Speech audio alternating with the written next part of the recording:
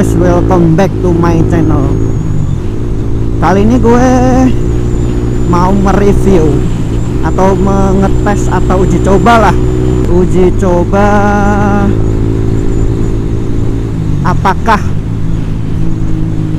knalpot racing itu ngaruh ke limiter motor?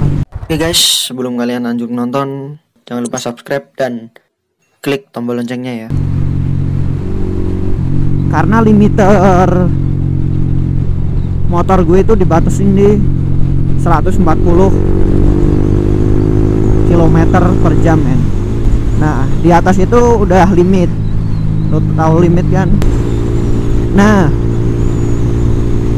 apakah dengan gue gantinya motor ini ke knalpot racing apakah limiter bisa naik atau malah turun bro gue juga kagak tahu. Gue mau ngetes kali ini dan nanti juga dapet jawabannya. Tapi nggak di jalan ini. Di jalan raya yang lebar besar bro. Antar kota. Ini masih antar kecamatan ya. Jadi masih bahaya sekali men. Oke ngomong-ngomong gue bawa tas. Bawa buku sekardus bawa barang satu kardus di jok belakang. Apakah mempengaruhi nanti buat kecepatan atau limiter? Nah tunggu jawabannya sesaat lagi.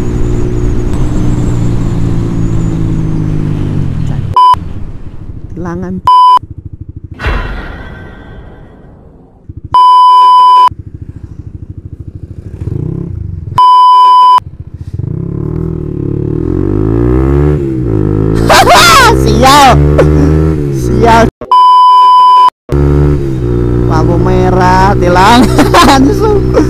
balik dah.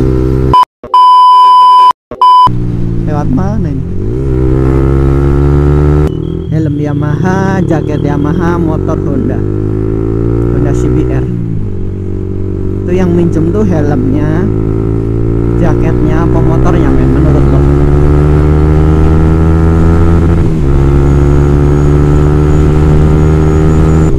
ini akan kita akan masuk ke jalan ini udah masuk ya jalan antar kota. Ini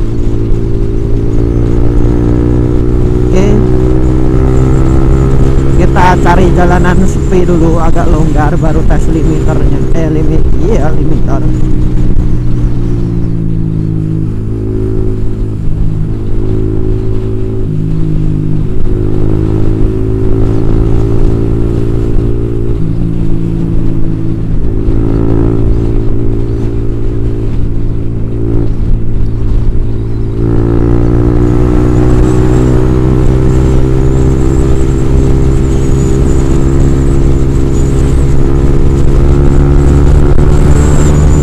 Oke coba kemarin sampai 140 udah limit.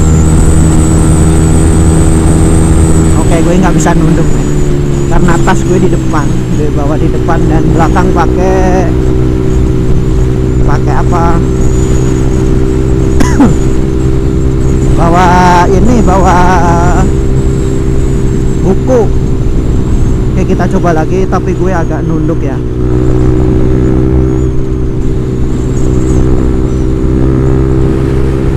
bisa tetap nggak bisa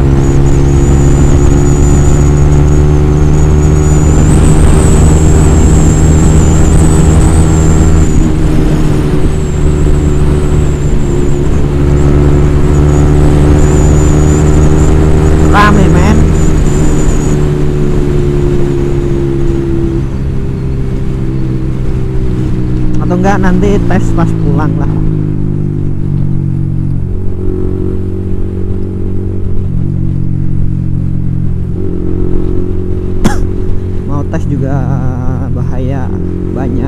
kendaraan itu jalannya enggak sepi sih. Kalau pengen sepi kita harus paling di depan di lampu merah. Oh ya lampu merah.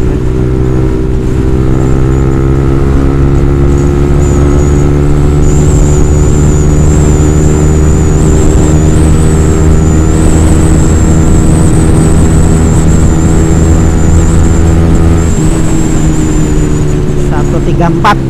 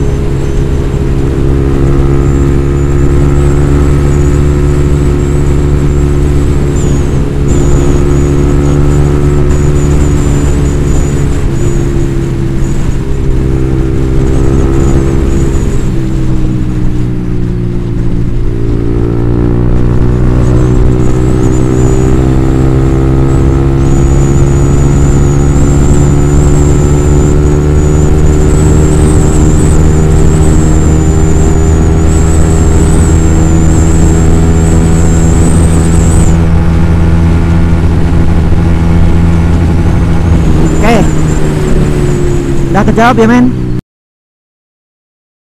Limiter ECU yang diprogram di ECU itu ya dia eh, ya dia udah stuck gitu, udah udah di situ gitu. Kecuali ada kecuali pembakaran sih. Penyemprotan bahan bakar bisa dipengaruhi oleh sensor CO2 di knalpot, men intinya knalpot racing itu tidak mempengaruhi sama sekali ke limiter. Limiter. Limiter kecepatan motor kalian. Jadi motor anda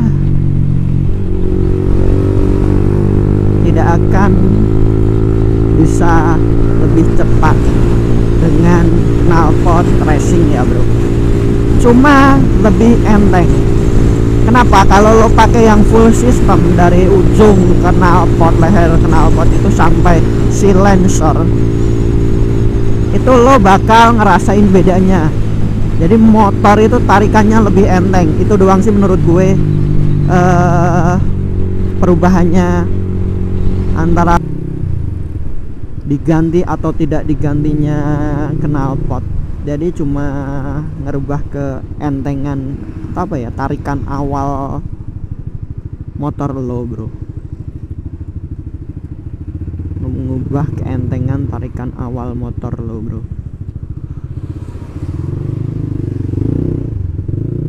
Yang awalnya biasa aja lebih enteng cuma itu doang. Yang lain nggak ada gitu. Eh satu. Tambah berisik gitu loh.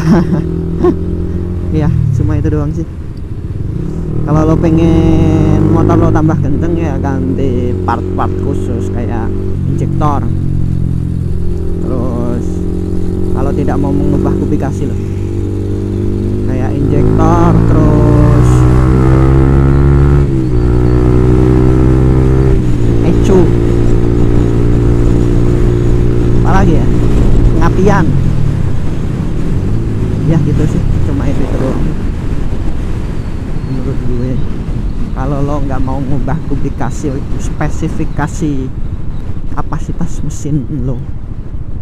Itu doang yang mau yang harus lo rubah atau lo ganti. Atau lo style kalau ecu bisa diremap oke mungkin segitu aja bro. Jangan lupa subscribe like and comment. Dan boom